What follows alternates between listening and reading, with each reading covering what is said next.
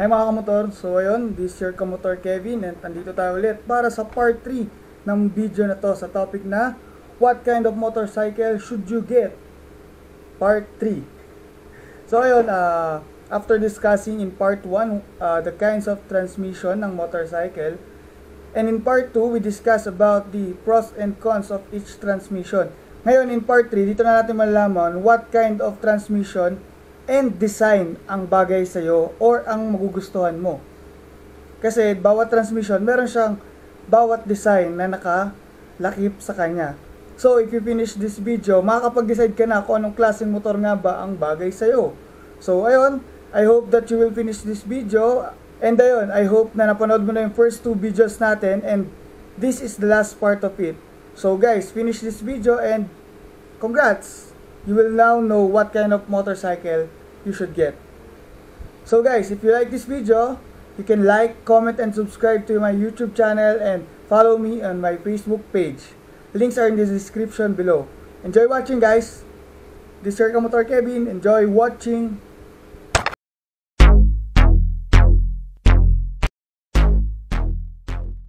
Uh, next thing uh, I want to discuss to you for this topic is kung anong klaseng motor ang bagay sa'yo considering naman the transmission and design as bago ka sa motorcycle scene. Kasi for sure, uh, sa aesthetically, may mga nagugustuhan ka namin, nakikita ka na, uy, gusto mo yung model na yon.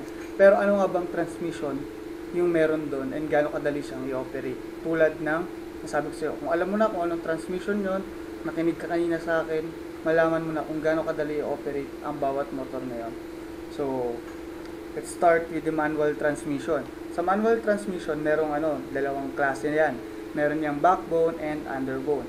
Itong mga backbone ito, ito yung mga motor na medyo malalaki. Kasi yung tangke niya is nasa ibabaw. So, mas malaki siya than the underbone. Example ng mga backbone motorcycle na manual ay yung tulad ng motor ko, uh, Rouser.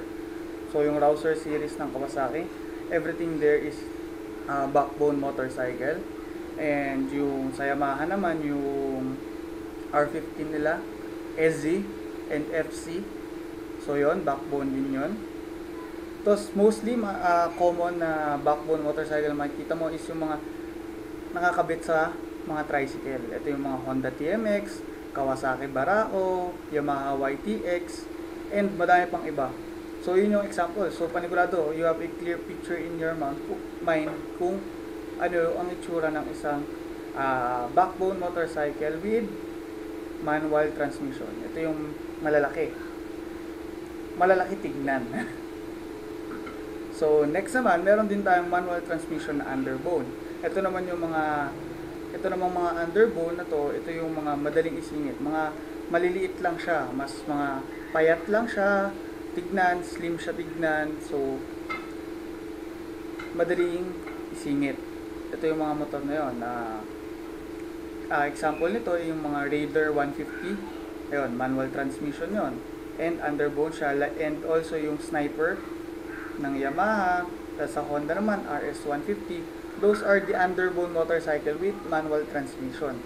So anong anong pinagkaiba ng manual transmission na backbone sa underbone? So dahil nga from their size sa backbone mas malaki siya. And sa underbone is mas payat siya so sa navigation mo during the traffic, mas madali ang underbone. Pero pagka sanay ka, nasanay ka naman sa backbone, madali na rin siya isingit-singit. So wala na rin siyang problema. So ayun, sanayan lang siya pero yun nga kung ano talaga, mas mas marami kang pwedeng uh, lusutan for uh, underbone motorcycle since mas manipis nga siya, mas slim siya. Next is for semi-automatic naman, mostly dyan is underbone. Underbone ang mga semi-automatic.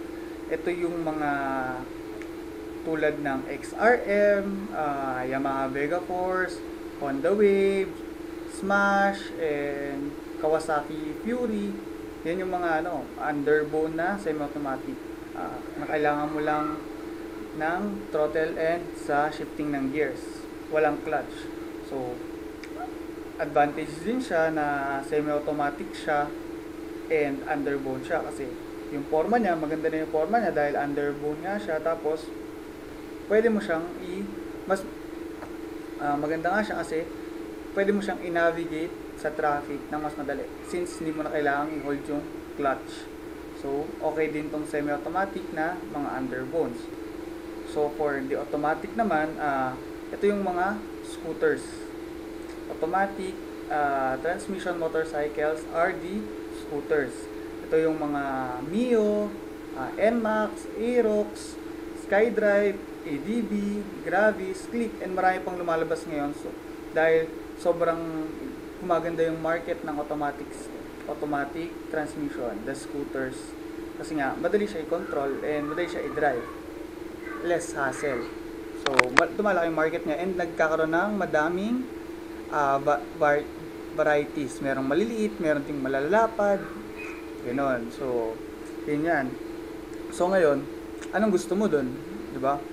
Next naman, pag-usapan natin ang displacement. So, for me, ah, dahil magsisimula ka pa lang sa pagsakay sa iyong motor, ah, you can start with small displacement bikes. Ah, marami dyan yung mga 100cc to 150cc bikes. Ah, okay na yon mga ganong motorcycle. Because, hindi mo naman kailangan ng sobrang power pa since nag-start ka pa lang and kailangan mo pang sanayin yung sarili mo sa pagmamotor. So, hindi mo kailangan ng sobrang powerful na motorcycle. And to start, gagamitin mo pa lang naman siya as replacement for your daily commuting. So, okay tong mga small displacement bikes kasi ah, lighter sila, mas magagaan, and mas maliliit. But soon, if you want to buy a higher displacement bike, kasi na-enjoy mo na and nagiging motorcycle enthusiast ka na, gusto mo ng higher displacement bike kasi ang ganda niya, big bike, mga ganon. So, ah, ang mas gusto kong gawin mo muna is masterin mo yung pag-ride ng motorcycle using small displacement bikes. And then, after nun, saka mo sundin yung pangarap mo na bumili ng big bike. Kasi, ah, yes, it's the same motorcycle, pero magkaiba kasi sila ng power. So, if you can control the power of small displacement bikes, so, na-master mo na siya, you can move to the next step, the big bike section. Kaya okay din naman na small displacement lang kasi small bikes and big bikes uh, serve you the same purpose, getting you from point A to point B. So, okay lang kung mag-small displacement bike ka muna. So after watching this video, I want to ask you guys, so what kind of motorcycle should you get? So comment down below kung anong motorcycle na naisip mong bagay sa'yo at kung ano ang bibilin mo. And if you are you have questions, uh, comment down below at sasagutin ko lahat ng katanungan nyo. If you like this video, please hit the like button below and also subscribe to my channel. And ring mo na din yung bell. Uh, you can also support me in my Facebook page and my YouTube channel. Uh, links are in the description. So if you also have someone na uh, want to buy a motorcycle pero nag-iisip pa sila, tag them.